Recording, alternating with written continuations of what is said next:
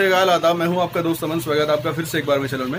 Friends आज आ रखे हैं ड्रीम वर्ल्ड एक्वेरियम में जो मिस्टर मोहित का है तो आज मोहित जी के पास आ रखे हैं और प्लस थोड़ी सी इन्फॉर्मेशन आपको दिखाने के लिए कि जो बंदे फिशेज रखते हैं अपने पास में और उसकी केयर वो कैसे कर सकते हैं कैसे कैसे वो क्लीन अप कर सकते हैं क्या क्या चीज़ें उसमें नेसेसरी होती है और कितना वो फ़ूड डाल सकते हैं अपने उसमें। तो कंप्लीट इन्फॉर्मेशन आज बताएँगे मोहित।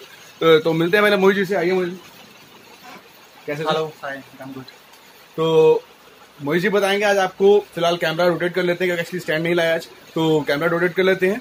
तो बाकी बात आप बताएँगे मोहित जी कि किस तरीके से हम इनका देखभाल कर सकते हैं रख रखाव कर सकते हैं क्योंकि मुझे इस चीज़ की नॉलेज नहीं है। कबूतरों की तो है लेकिन फ़िलहाल अभी इस चीज़ की नहीं है। तो चलते हैं मोहित जी के पास। फिशिस का मेन सबसे पहले तो ध्यान रखना पड़ता है हमको दाने का कि आप दाने की क्वांटिटी कितनी रख रहे हैं। अगर आप दाना ज़्यादा डालेंगे फिशिस को तो उससे डेड हो जाती है फिशिस मर जाती है मर जाती है। और सेकेंडली वाटर आपका बिल्कुल क्लीन होना चाहिए। क्लाउडी वाटर नहीं होना चाहिए। ठीक है। टाइम से आप पंद्रह बीस दिन में इसका वाटर जो फ़िल्टर की फोम होती है फ़िल्टर साफ़ करनी है आपको और लगभग एक से डेढ़ महीने बाद इसका पानी चेंज करना है। ठीक है। बाकी मेन है कि आपको दाने का ही ध्यान रखना दाना इसमें ज़्यादा नहीं डालना है आपको। दाना ला के बराबर डालना पड़ता है। एक, एक टी हाँ, स्पून डलता है। तो एक अगर एक फ़िश के लिए नॉर्मली आप सिक्स टू एट दाने आप मान के चलिए। अच्छा। उसके अकॉर्डिंग मतलब ज़्यादा फ़िश पे एक टी स्पून डलता है हाँ, एक स्पून रहता है। पाँच मिनट तक मछली अगर दाना खा लेंगी तो ठीक है अगर दाना बचा रहता है तो आप उसको निकाल कर फेंक दें। वरना वो जितना दाना बचा रहेगा वो सारा पानी को गंदा करेगा और फिशेज के लिए भी वो हार्मफुल रहेगा ओके और इसमें क्या क्या चीज़ें लगानी चाहिए जो नेसेसरी होती है? फ़िलहाल जैसे गर्मियों में टाइम आ रहा है तो गर्मियों में क्या क्या चीज़ें हमें करनी चाहिए? गर्मियों में अगर आप किसी ऐसे रूम में रखा हुआ है ऊपर जहाँ पे हीट वगैरह आती है तो उसमें एक कूलिंग फ़ैन आता है। कूलिंग फ़ैन लगाए तो पानी इतना हीट नहीं पहुंचेगा। बाकी एयर स्टोन हम जो इसमें एयर रोड लगाते हैं उससे पानी ठंडा होता है। ठीक है। वो भी हम इसमें यूज़ कर सकते हैं। ओके इसके अलावा सोन्स वगैरह लगाने चाहिए। आपकी तो शॉप है इसलिए आप लगा नहीं सकते लेकिन जो मोस्टली घर में हाँ, लोग पालते हैं। हम लगाते हैं। स्टोन्स हो गया प्लांट्स हो गए और काफ़ी चीज़ें लगती है। बेनिफिट ये है मछलियाँ जो भी पोटी वगैरह करती है वो सब स्टोन पे ज़्यादा इकट्ठी हो जाती है। वो जैसे हमारे आप टैंकों में देख सकते हो नीचे दिखाई दे रही है। तो जितना भी पानी को है वो तो फ़िल्टर करेगा। बाकी कुछ डस्ट नीचे स्टोन में चली जाती है। ओके ये एयर फ़िल्टर है इसका? ये एयर फ़िल्टर है। ठीक। तो इसमें आई थिंक एक एयर फ़िल्टर लगता है पंप भी लगाते हैं लोग अलग से। एक पंप लगता है। एक एयर फ़िल्टर लगता है प्लस उसके अलावा सर्दियों में सर्दियों में हीटर आता है इसके लिए।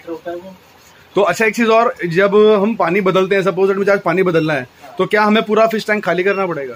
हाँ, पूरा फ़िश टैंक आप खाली कीजिए जब आप पानी चेंज करते हैं उसमें आप ध्यान रखें जो भी आप नया पानी भरेंगे उसमें आपको बिल्कुल फ्रेश वाटर यूज़ नहीं करना है क्योंकि हमारे यहाँ क्या होता है क्लोरीन आती है पानी में। जी। इसलिए टैप वाटर आप यूज़ करें या तो एक दो घंटा पुराना पानी हो या फिर सिंटेक्स का पानी ठीक है। क्योंकि ताजे पानी में क्लोरीन आती है। हाँ मछली की बॉडी पे सब डोट डोट चिपक जाएगा उससे मछलियाँ भी मर जाती है। ओके।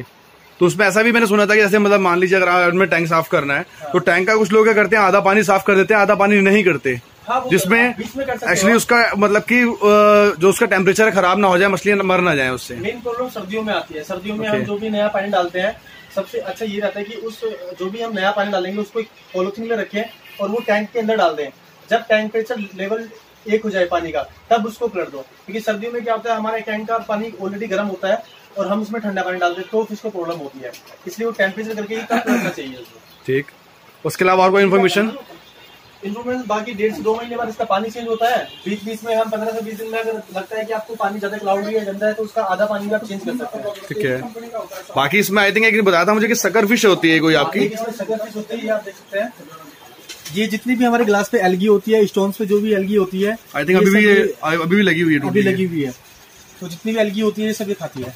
तो उसका पेयर सस्ता भी आता है ये बड़ा साइज़ है। ये आपका हंड्रेड रुपीज़ ईच है। ईच सिंगल पीस का।